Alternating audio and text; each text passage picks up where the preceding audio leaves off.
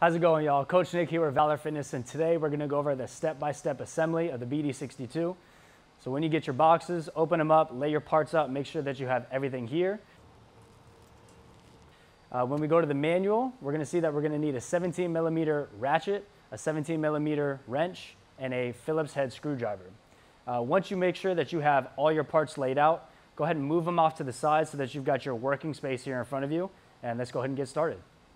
We're gonna start here on page eight of the manual. We're gonna start with the frame of the BD62. So we're gonna need part 37, 28, 29, and 38. And the thing that I want you to look at is the way that the bolts go in.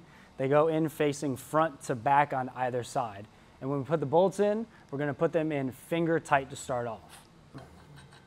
Slide it through the first part, and then make sure that this fits in these groove of these lips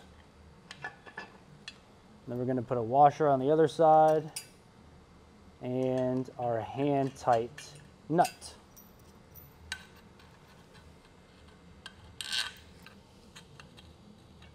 I'm to do the same thing here on the back side. And if you're putting these on, these two pieces look the same. Make sure that this back piece has these two holes here on top because that's where we're going to end up putting those long bars.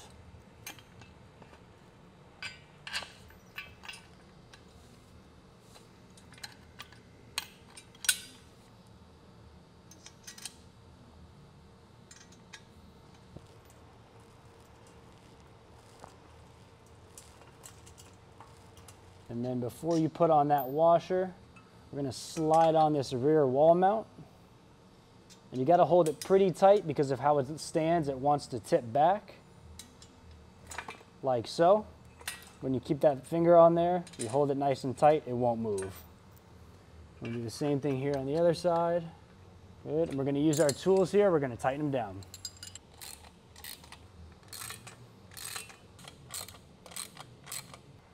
Now that we're done building the base, we're gonna start building vertically. So we're gonna prepare our slide rails. So page nine, if you take a look,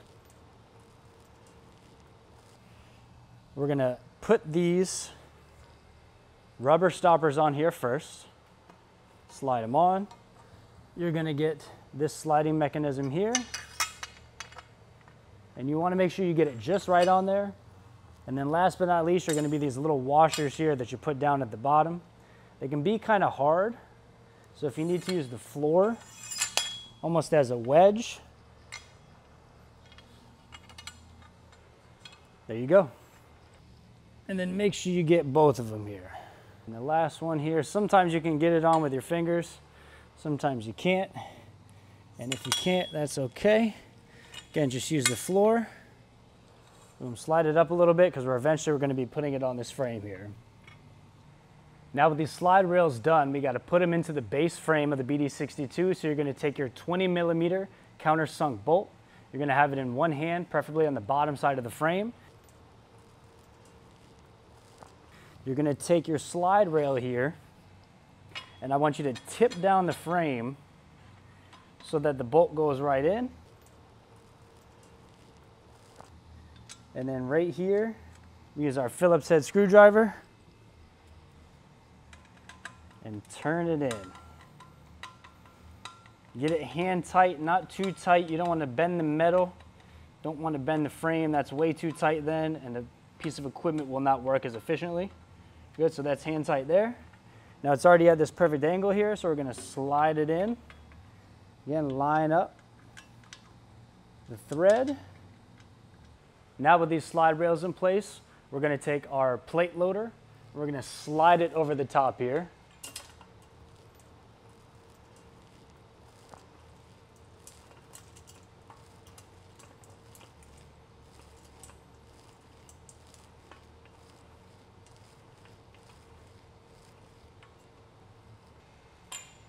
Now, if you're a little bit shorter, my advice would be grab some kind of a stepping stool. And then we're gonna slide it down. Now it fits snug, so you might run into a couple issues here like I did getting it down, but it should slide down pretty quick. Now, don't let it drop down either, especially when you're using it. Just slide it down nice and gingerly. Next step here, we're gonna put our rail here in the front. You want the holes to face front to back. We're gonna get our 50 millimeter bolt here. We're gonna put it in front to back. Now you're gonna lift up this rail here, slide the bolt in, keep it lifted so it goes all the way through. Then we're gonna throw that washer and hand tight that nut.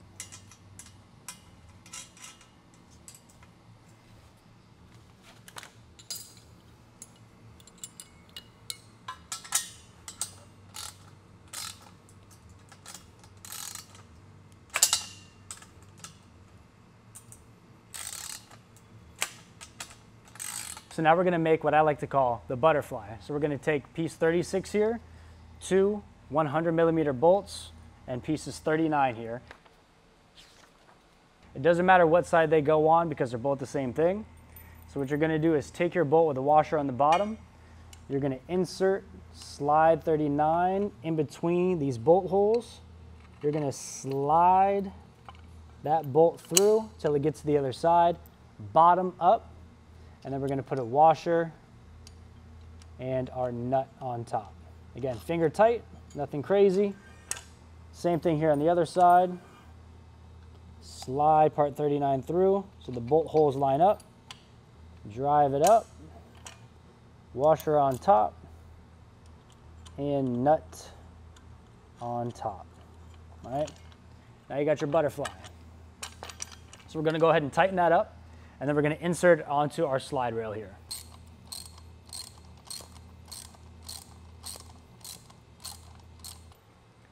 So before we put the butterfly onto this rail here, this pull pin has to be threaded out a little bit. So unscrew it just so there's a little bit of thread left. We're gonna place it on top like so. Again, if you're a little bit shorter, make sure you've got that nice sturdy stool.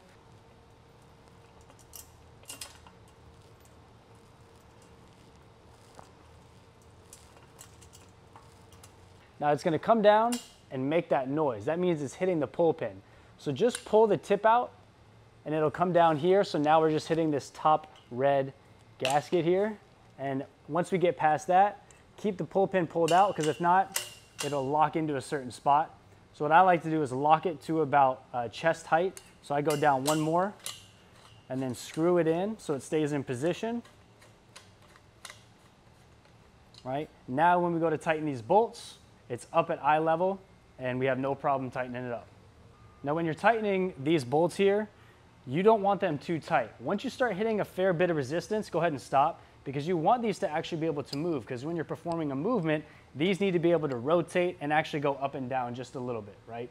So tight, but not too tight. Let's go ahead and flip over to page 10. We're gonna start with part 30 and we're gonna place it here on top to connect all the rails together.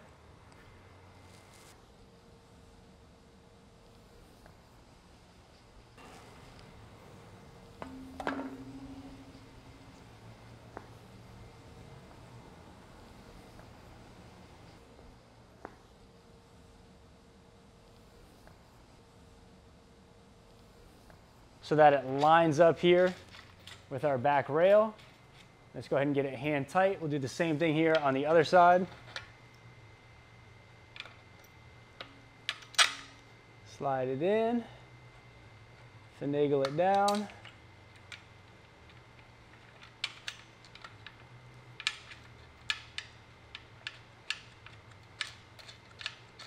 Okay, we're going to get it hand tight here and go ahead and tighten it up. Again, not too tight. You don't want to compress the rail.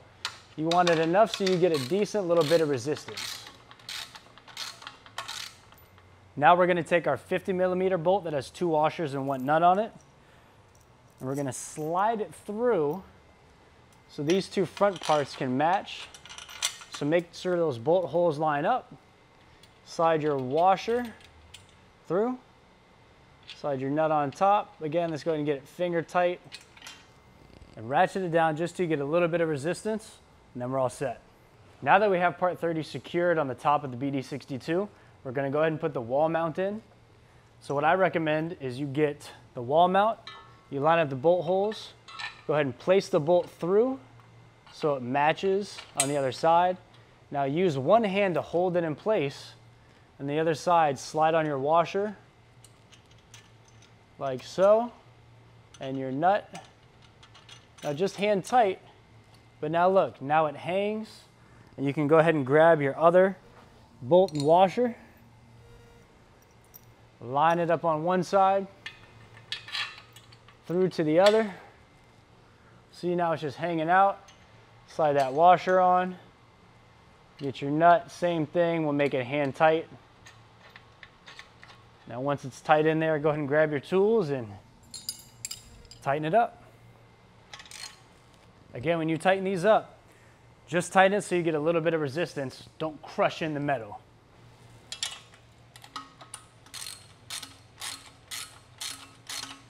Now we have the main frame of the BD62 all set up. Next, we have to go to our pulley system. You're gonna have a shorter cable and a longer cable. We're first gonna start off with this longer cable here. I personally like to roll it out, get any knots out that may be in it from unrolling it. And then we're gonna start here on our left butterfly wing. And then I also like to keep some of these smaller nuts and bolts in my pocket just so they're easier to reach and a couple of the pulleys as well. So we're gonna start here on this bottom pulley on the left side. Go ahead and undo the nut, one of the bolts. We're gonna slide the pulley in so all the bolts holes match up. All right, again, a little finger dexterity, and we're just gonna slide it through. Now I like to make sure that the thread is facing away from the user so that just in case, for instance, it rolls back and hits you, this blunt side of the bolt's gonna hit you and not this threaded side and possibly cut you up. So go ahead and get that one finger tight there. I'm ready to start.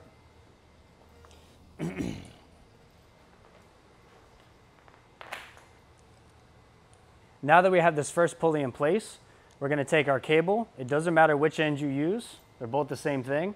We're gonna slide it through here and just let it hang. We're going to take our other pulley, we're going to place it on top.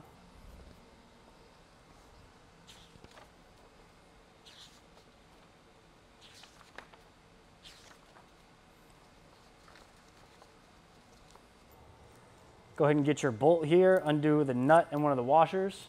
Again, make sure those bolt holes line up.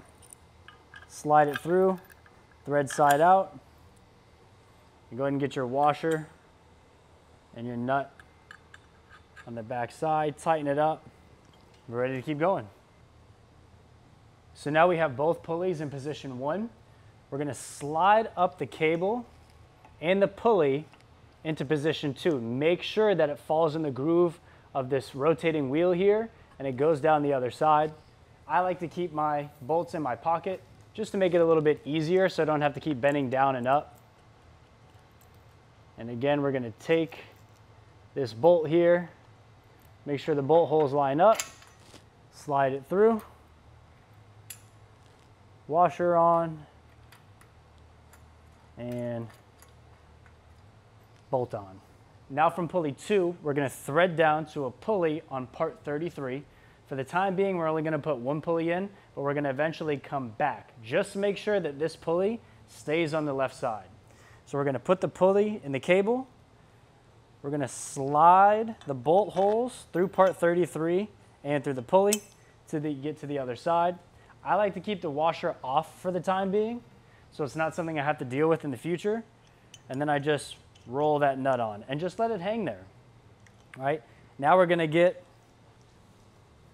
another pulley here and another bolt if you have one. Now, if this part 33 starts to move around like this, it's totally fine. We just want something in place for the time being. So we're gonna get the cable in the pulley. We're gonna slide it up here to the back of part 30 in this pulley here on the left side. We're gonna slide this bolt through. Make sure those holes line up so it's a good fit. Good, and now you can just let it hang. Put the washer on the pulley, excuse me, on the bolt tie that nut down. Boom, we're looking good. Now we're gonna take another pulley here. We're gonna thread the cable through, slide it here onto the plate loaded chassis. Undo your bolt and your washer. And we're gonna slide through here from front to back. Make sure the bolt holes line up.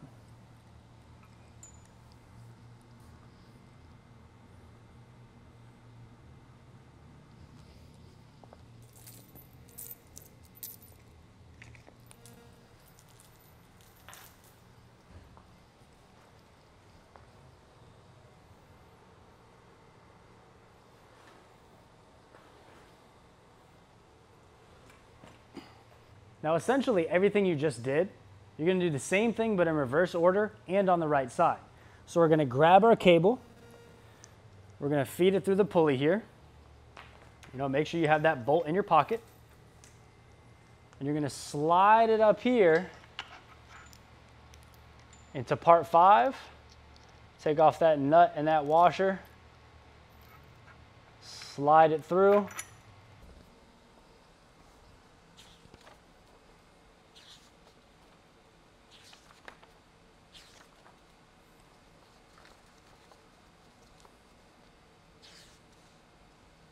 Now from part five, we're gonna feed that cable down into part 33. Make sure that pulley that you initially put in has the cable running through it and it stays to the left side. So I've got the washer in my hand that we didn't put on just yet. I'm gonna undo this nut. I'm gonna slide the bolt out. I'm gonna put the cable in part 33 and make sure that bolt is out just enough so that you can slide your pulley in with that cable going through the divot. Now, again, make sure everything lines up nice and neat.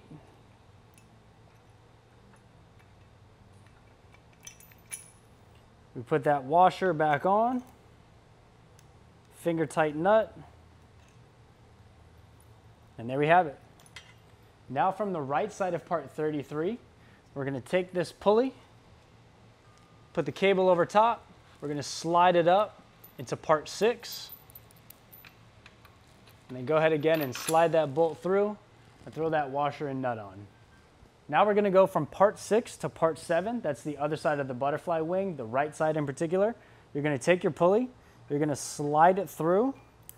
Again, make sure those holes line up. And make sure, again, the thread is facing away from the user.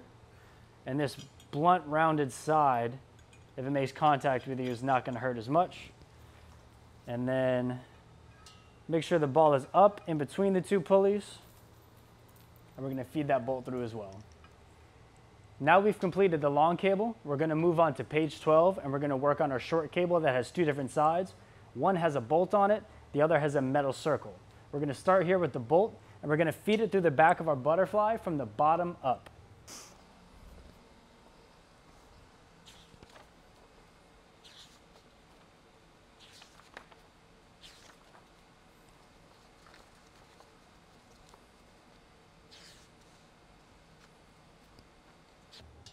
Now once that bolt is all the way through, the nut that you'd already taken off, go ahead and slide that on top and spin that bad boy all the way down. Now that we have that bolt threaded all the way through, we're gonna take the nut that was on it, we're gonna tighten it down. Now we're gonna take this cable, we're gonna run it down to these two uprights. It's gonna go through with the cable, and then we're gonna put our pulley on top. We're gonna grab one of those bolts in our pocket, feed it through and hand tighten it.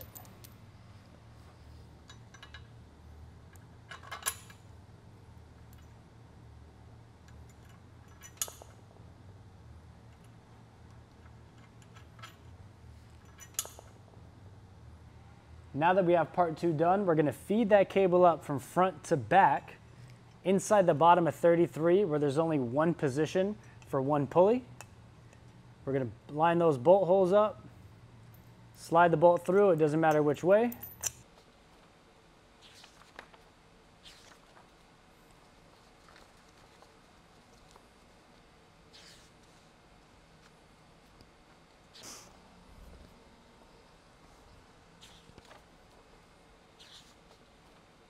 Now it's okay if those cables don't line up perfectly just yet.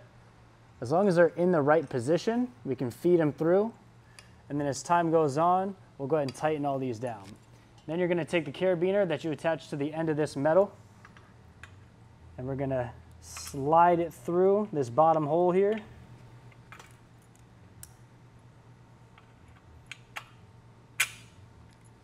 And it's okay if your weight peg goes up and down a little bit.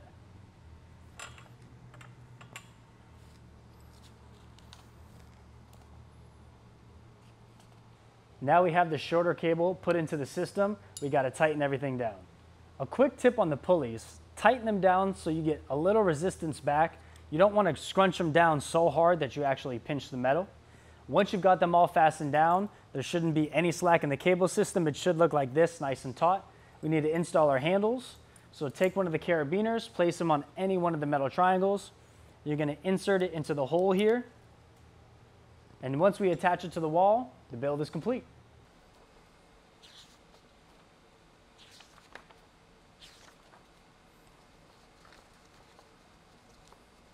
Thank you so much for joining me today. I really hope this video helped you out. If you have any further questions or need any further assistance, the back of your manual has our contact information. You can give us a call or email us at info at valorfitness.com.